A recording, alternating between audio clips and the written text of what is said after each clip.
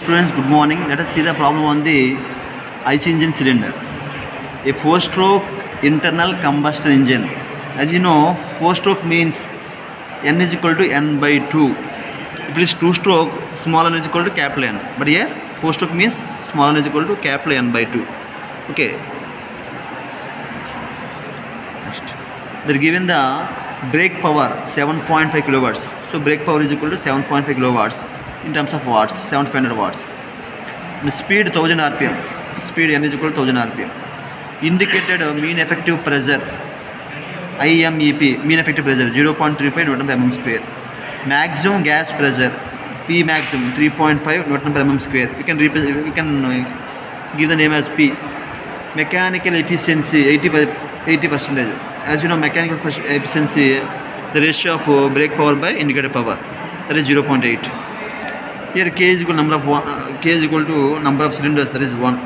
They are not mentioned. You can take K is equal to one. Okay. So here, determine first dimensions of the cylinder.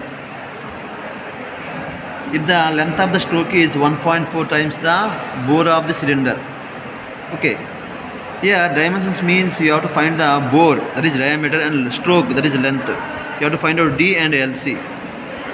But here they are given the length of the stroke is 1.4 times the bore of the cylinder. Length of stroke means LS stroke LS 1.4 times the bore means D. This is in terms of mm. Okay, you have to convert into meters. So 1.4 D by 1000 meters. Okay. Next. Second question. Just write it. So wall thickness of the cylinder with the hoop stress is 35 megapascal. Here they are asking the wall stress that is TW.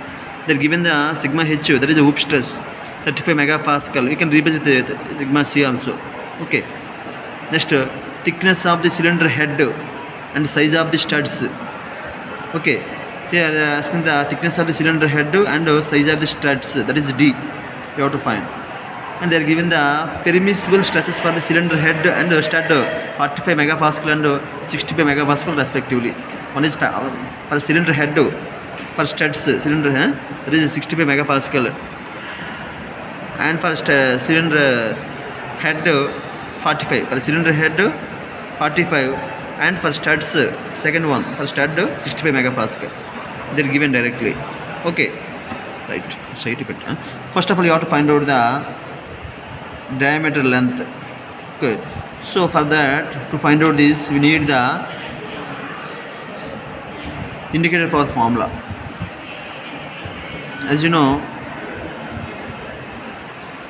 indicator power is equal to p l a n k by 60 that is simple Planck by 60 here a is the pi d square by 4 and l is the stroke length so we have Planck by 60 where P is the mean effective pressure, L is the LS, and A is the pi d square by 4 and N is equal to N by 2. Here given the N value 1000 RPM. So N by 2 means 500. So we have taken the N value 500 and K number of cylinders that is 1 by 60. This is the formula. In this formula we have pi D square by here D is the diameter and L is the length. So here you need to find out the D and L. That's why we are using this formula. Okay, that's why we are using the indicator for formula. Then only we will get uh, D and L values. Okay. Let us take IP value. But here you don't know IP value here, so you have to find the IP value. So you have IP uh, IP value. You have a formula. From mechanical efficiency, you can find out IP is equal to BP by sigma m, eta m. This one then you will get the IP value 9375 watts. This is the indicator power.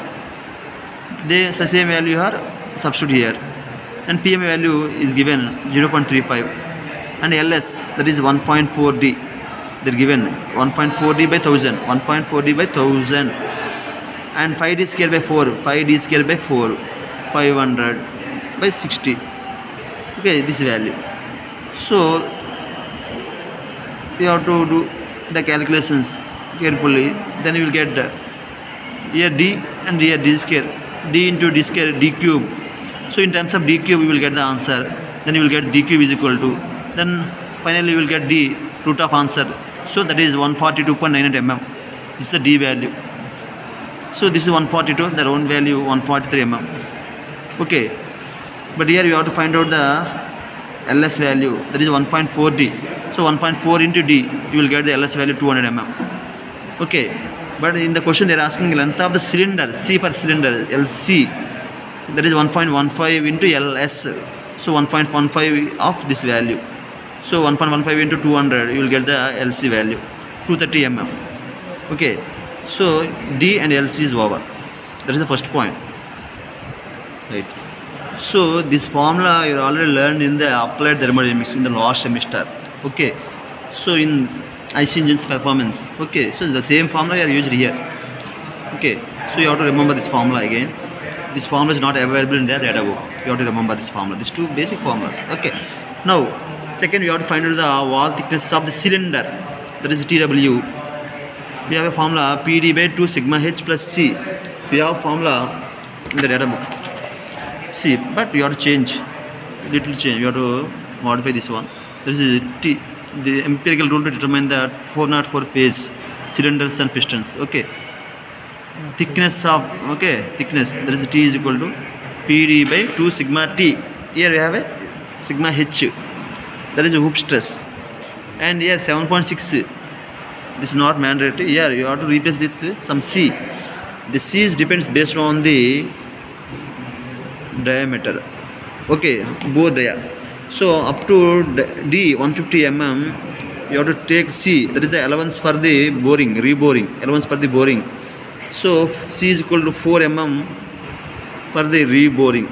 Up to 150 mm you have to take 4 suppose if d is equal to 100 you can take 4 like that so if you if it is more than 100 you can take c value 4 mm so in place of c you have to take 4 then here p they're given the p value p maximum 3.5 and d value we are find the d value 143 mm to and sigma h they're given in the question sigma h hoop stress. This concept you learned in the MOS okay thick cells thin cells. Generally the basic formula is uh, T is equal to sigma h is equal to PD by 2T sigma h is equal to PD by 2T so from that formula this is derived that is that's why finally TW is PD by 2 sigma h plus C if you forget you can use the data book but here in place you have to write sigma h here you have to take C that is uh, mod uh, that will varies based on the D cylinder bore Mm. okay so finally you get the wall thickness after then third one you have to find the thickness of the cylinder head okay this is also available in the Mahadevan data book okay 18.7 equation 18.7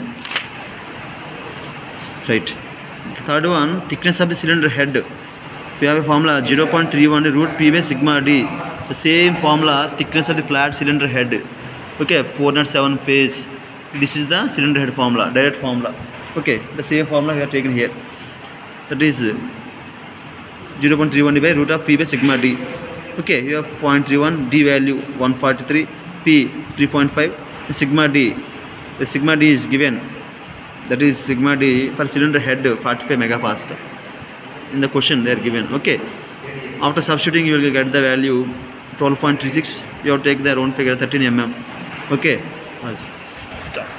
Thickness here they asked the thickness of the cylinder head and the size of the studs. Sometimes they may ask uh, find out the number of studs also they may ask. But even though you have to find whether they ask or not but you have to find the number of studs. It will be useful.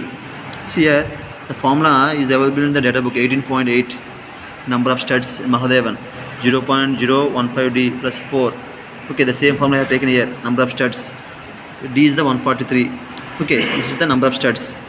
Okay. Now you have to find out the root dia of the stud. Root dia. This is also available in 18.4 equation.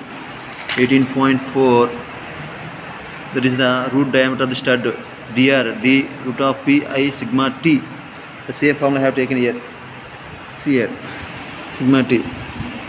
Capital D 143 P 3.5 maximum pressure I number of studs sigma T 65 given in the question 65 megapascal okay after substituting you will get the dr value 13.54 mm okay Oh, very good Uh, okay so we will get the this is the root diameter but we want the nominal dia So for normal dia formula d is equal to dr by 0.84. This is the basic formula by 0.84. So 13.54 by 0.84 you will get the normal dia that is 16 mm. So normal dia of the study d is equal to dr by 0.84. This is the basic formula. Okay, we have a dr value. Then you will get the 16.1 round figure 16 mm. Okay. So finally we have to find the pitch of the studs. Whether they asked or not, we have to find the pitch of the studs. Okay. Right. So for that we have formula dp is equal to d plus 3d. This data is not available in data book. You have to remember, right?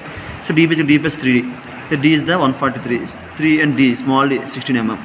This is the pitch uh, circle diameter stud. And pitch of the studs that is uh, 5d by i. Okay, where 5 dp by i. 5 dp is this is the pitch circle dp. i is the number of studs. 6. This is the pitch of the studs. Now we have to check the minimum pitch and maximum pitch. One is 19 root d, other one is 28.5 root d. So 19 root d, d is the this value small d. Then one is 76, other one is 114 mm. Now finally you have the comment since the picture of the studs obtained above 100 mm, this is above 100 mm, lies within 76 and 114 mm. Okay, this is uh, you get the picture of study is 100. Always you should be within the limits. That means it should not it should be in between these two values.